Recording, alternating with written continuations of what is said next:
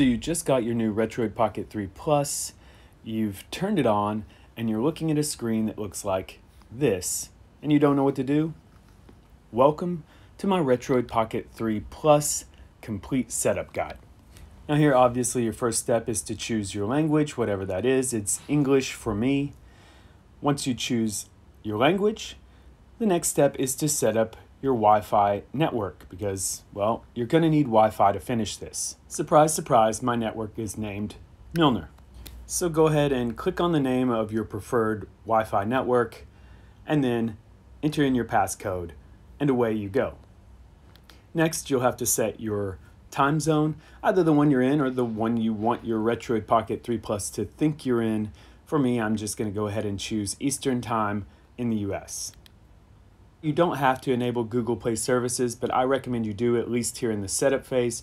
You can always disable them later. Then the real fun begins where you choose which apps to pre-install.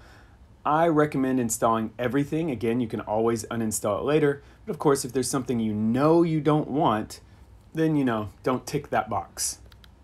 Depending on how many apps you chose, it may take a few minutes to install them, and then you're going to get to choose your launcher. I certainly recommend starting with the RP3 Plus launcher rather than the basic Android launcher.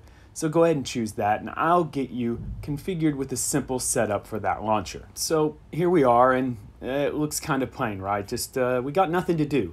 So let's fix that. Click down here on systems and then select a few systems that you know you want to play. I'm just going to choose a few as examples so that you can see what it looks like. You can always add more later, but once you've got a few selected, you can click down here on OK, and your screen will now be populated with some graphics for the systems that you select. But of course, when you click on them, there's nothing there to play yet. That's a problem. We'll need to fix that, right? The Retroid Pocket 3 Plus does include 128 gigabytes of internal memory, but I'm going to add a 512 gigabyte memory card, and you install that right here. Just pop open the door, and then press the memory card in with your finger until you hear a nice little click. Android should actually go ahead and populate this with some file structure and folders. So let's go into our settings, go to storage, and check to make sure that our card is there. And there it is. So now we're ready to install a ton of games. You could remove the memory card and insert it in your computer, but I prefer to just connect the included USB cable. Then you choose File Transfer on the screen, and then you should see the Retroid Pocket 3 Plus on your file manager on your computer.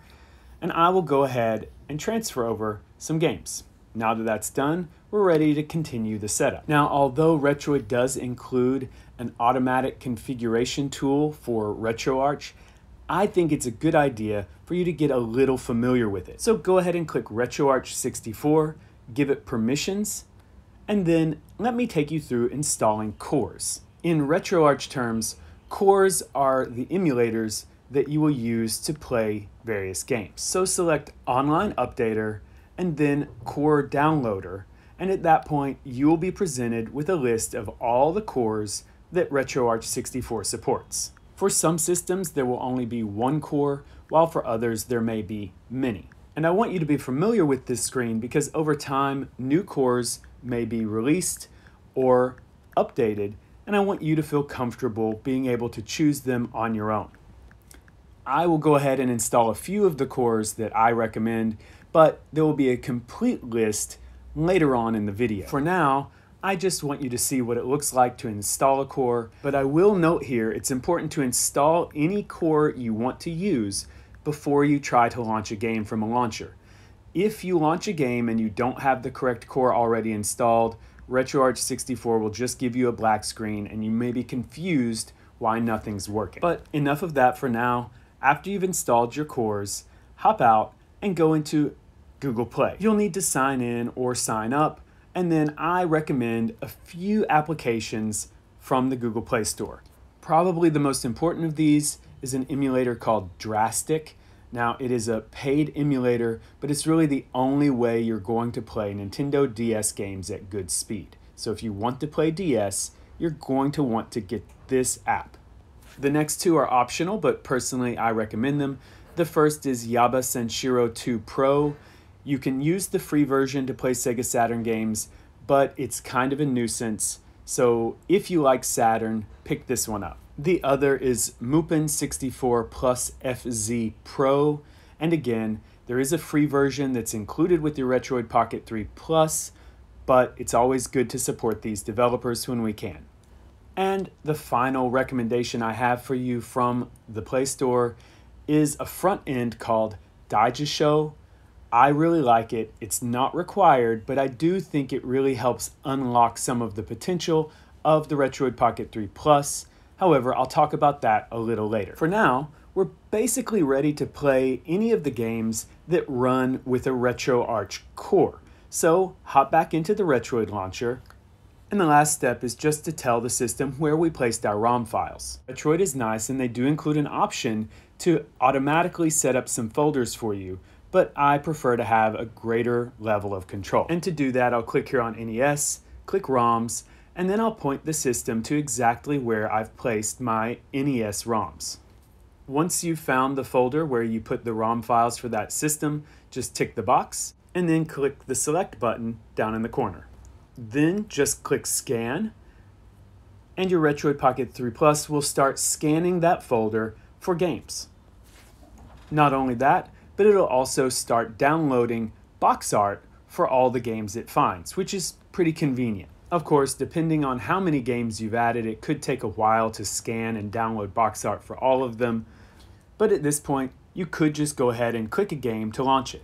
Here we are in Contra for the NES, and you can just go ahead and click this little button in the bottom right corner to hide the on-screen controls if you want. Hopefully now you feel knowledgeable enough to set up all of your other systems that run using RetroArch. The process will be exactly the same, you just want to make sure that you've installed the correct cores and then you can launch them from the Retroid Pocket 3 Plus launcher. With that said, there are going to be several standalone emulators that you're probably going to want and to use. Retroid will automatically set up a few of those if you just click those options. However, some of them you're going to have to set up yourself. Even if you click the PPSSPP option, it's going to take you here and you're going to have to tell it where you've put your PSP ROMs. First, you'll want to point it to that general folder to give PPSSPP access to the directories, and from there, after you give it access and click OK, you'll also want to browse for your games and make sure it knows that this is the folder where you keep your PSP ROMs, at which point it will scan them in and you'll see them there. And you'll find that that process is pretty similar across most of the standalone emulators you'll be using. For example, Yaba Sanshiro 2, you will also need to give it access to your ROMs folder. And again, much like PPSSPP, it will go ahead and scan in the games that it finds in that folder and display them for you. And if you want to play N64 games, Mupen 64 plus FZ works in basically the same way. The important thing to remember here is that for most of these systems, unless you've opened the standalone emulator and given them access to the appropriate ROMs folder, if you try to launch a game later from the launcher, it just won't work. So before you start using your launcher, be sure to set up each standalone emulator and you'll be good to go. Some emulators do require BIOS files to work properly. All of those that use RetroArch just go in the internal memory, RetroArch system folder. But for standalone emulators, you're usually going to need to import the BIOS like I'm doing here for the PlayStation emulator DuckStation. So if you encounter a situation where your game isn't launching properly, it may be because you forgot to set up the BIOS. One other quick thing to mention, I see a lot of people asking about the white bar on the right side and how to get rid of it. This is what you do. Just swipe down from the top and click floating icon to turn it off. No more white bar. And now you should be ready to start gaming using the Retroid Pocket 3 Plus launcher. But I do want to recommend that you give Daijisho a try. It's both an emulator front end and also a home screen replacement, and you can get it for free from the Google Play Store. And in this next section of the guide, I will take you through setting that up and show you some of its key features to explain why I recommend it. Once you've opened Daijisho, you're immediately presented with the option to download platforms. So go ahead and click that button and then tick the boxes for any system that you want to play. And when you've got them all selected, just go ahead and click import at the bottom. The default theme may be missing artwork for a lot of the supported systems, but we can fix that. Head over to settings and first I'm going to change to the dark theme. I'm a dark theme sort of guy. And then I'm going to turn off that awful beeping sound when I click on things. Okay, that's much better. From there, you can go up and choose Download Platform Wallpaper Packs. BB1 Dark and Alekfull NX are two of my favorites, but of course, feel free to try them out. And now you should immediately see some artwork that looks familiar if you've watched my other videos. One thing I like about Daijisho is that it does support a lot more platforms than the default launcher. Adding ROMs is really straightforward. Just find the system, click Paths, and go in and add your ROM folder for that system. Once you've found it, just go ahead and click Use Folder, allow the permission, and then click Finish. Now you just want to click Sync and Daijisho will start scanning in those files. It will also automatically choose an emulator to launch these games, but you can click the icon down here in the right and change that if you want to. And perhaps something that's more important to me, if you go to an individual game, you can also customize a specific core or emulator for just that game. I think that's important because as you will see in my recommendations later in the video, there are some systems where I recommend two cores or two emulators. And of course, Daijisho also automatically scans in screenshots and box art for your game collection. Another convenient feature of Daijisho is its ability to set up widgets, some of which include activity widgets so you can continue games, random play widgets to help you try new games, or of course, you can also set up your favorite RSS feeds so that you can see them right from your front end. The Highlights tab gives you several features, including recently played games either across your entire collection or by individual system. You can also see your favorites across all the systems or individually, as well as newly added games in the same way. You also maintain convenient access to all of your apps over here in the Apps tab. So do give Daijisho a try. I really think it opens up a lot of extra possibilities with the Retroid Pocket 3 Plus. And if you end up liking it, you can go into Settings, Apps and Notifications, and you can choose to make it your home app. Once you do that, your Retroid Pocket 3 Plus will actually launch into Daijisho when you turn it on. And if you double click the home button from an emulator, it will just come back to Daijisho. Okay, with all that setup out of the way, it's time for emulator and core recommendations. For the Nintendo Game Boy, I recommend the Gambatte core, and of course, your ROMs can be zipped.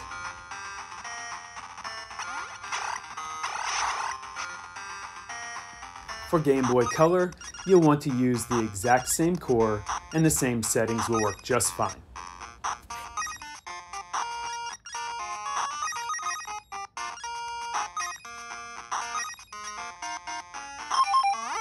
For Game Boy Advance, I recommend the MGBA RetroArch 64 core, and your ROM files can still be stored as zip.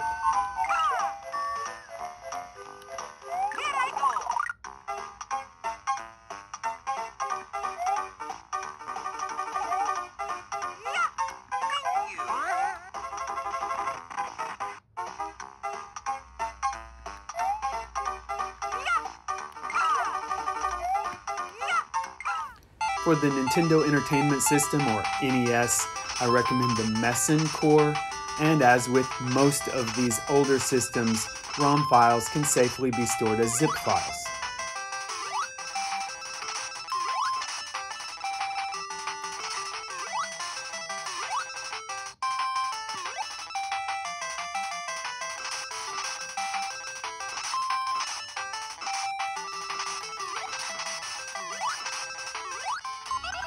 The Sega Master System and Sega Game Gear Both used the Genesis Plus GX core.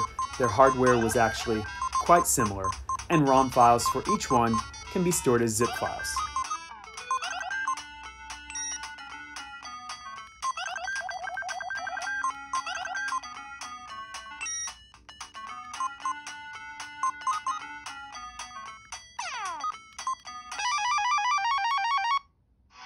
For the Super NES or Super Famicom, I actually recommend two cores.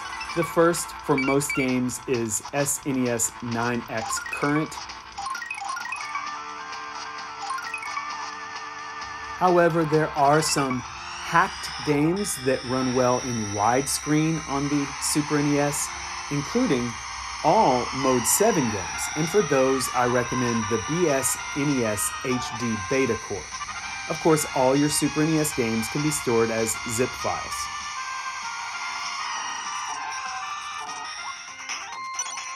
When it comes to the Sega Genesis or Mega Drive, I also recommend two cores. For most games, you will want to use Genesis plus GX. Surprisingly, there are actually many Genesis games that look great in widescreen, even without any hacks and for those, you need to use the Genesis Plus GX Wide core. Genesis games can be stored as zip files. As with the Genesis, for most Sega CD or Mega CD games, you'll want to use Genesis Plus GX. However, now I would suggest storing those games as CHD files. That stands for compressed hunk of data, and I will link to the software to convert your games in the description. And yet again, some Sega CD games look absolutely beautiful in widescreen, and for those you will want to use the Genesis Plus GX Wide core. Sega CD games also require a BIOS file. There are three different files depending on the region, and they go in the internal memory in the RetroArch system folder. The 32X is a bit different in that it needs the PicoDrive core for RetroArch 64. However, the games can be stored as zip.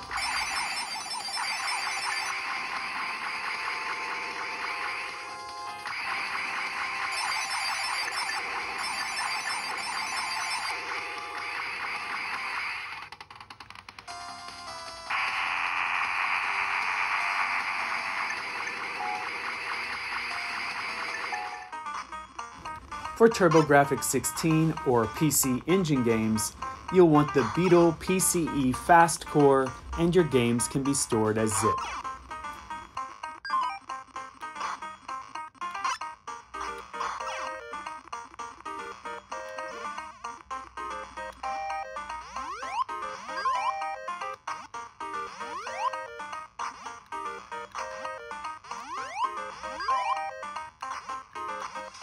TurboGrafx or PC Engine CD games will use the same core. However, I recommend you store those games as CHD files, like the Sega CD, and you'll need a BIOS file, which is syscard3.pce, placed in the internal memory in the RetroArch system folder.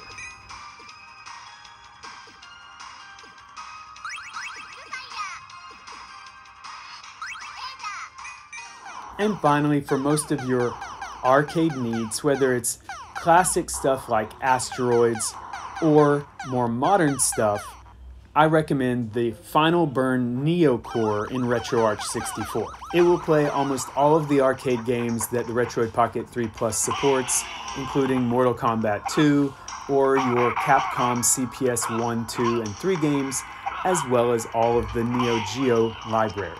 Mm, those games can all be stored as zip files. Moving on to the systems which I recommend a standalone emulator for, we'll start with the Nintendo 64, which uses M64 plus FZ or the Pro version, and the ROMs can be stored as zip files. For most of these standalone emulators, I will also be going back through and doing full settings and customization guides, so be on the lookout for those.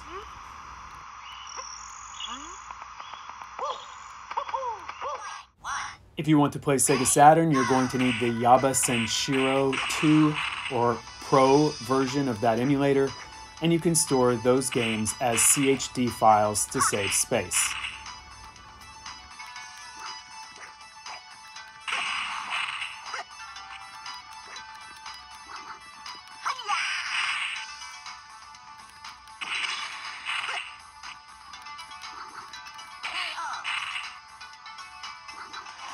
For PlayStation, I highly recommend the DuckStation emulator with your games again stored as CHD files. I keep my PlayStation BIOS in the internal memory DuckStation BIOS folder, and you can import whichever one you want. The naming convention shouldn't matter much.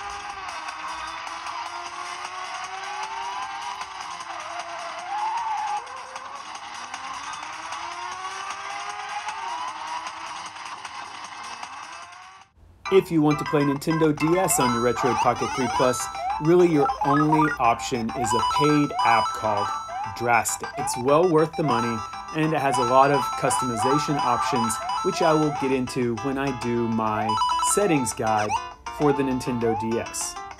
Your games can, of course, be stored as zip files.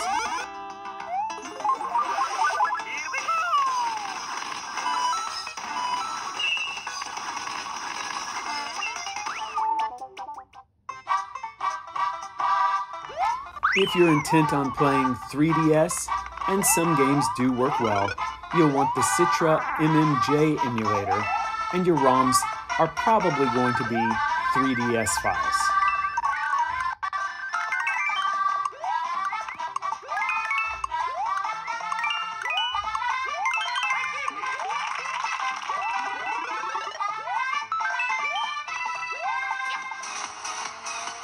PlayStation Portable games play fantastic now on the Retroid Pocket 3 Plus, and you're going to want PPSSPP to play those games. To save some storage space, you can compress your PSP ISOs as CSOs.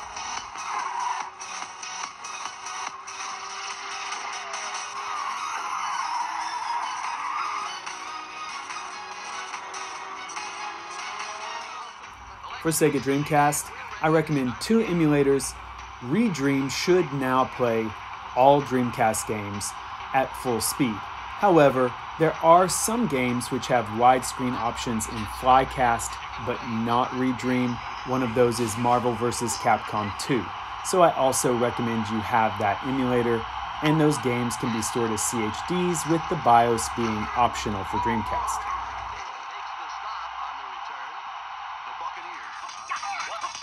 GameCube games generally play best in Dolphin MMJR. And if you have any GameCube ISOs, you can actually use the Dolphin emulator itself to compress them to RVZ files to save space.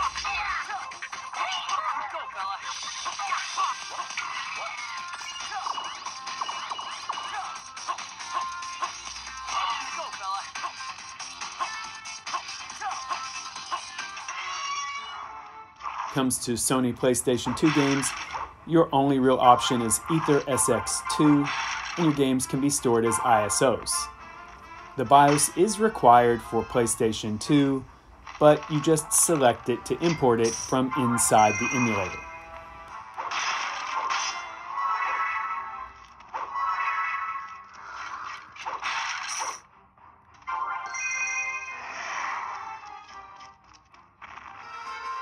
And my final standalone emulator recommendation is for the Nintendo Wii, and in this case, I recommend you keep Dolphin, MMJR, and MMJR2 because I found some games work better in one and some work better in the other. So this is definitely one system I will be making a dedicated settings guide for. Your games can be ISO or WMBF, which may have had some of the data cut out of it. And that'll do it for my Retroid Pocket 3 Plus setup guide. It was definitely a labor of love, so I hope you enjoyed it and you found it useful. And if you did, I do hope you'll subscribe, especially so that you get an update when I post those individual settings guides for the harder to emulate systems. I should start posting some of those to my channel starting next week, so you'll definitely want to check back soon. But now I think it's time for you to use this guide to get started playing your Retroid Pocket 3 Plus so that you can keep gaming.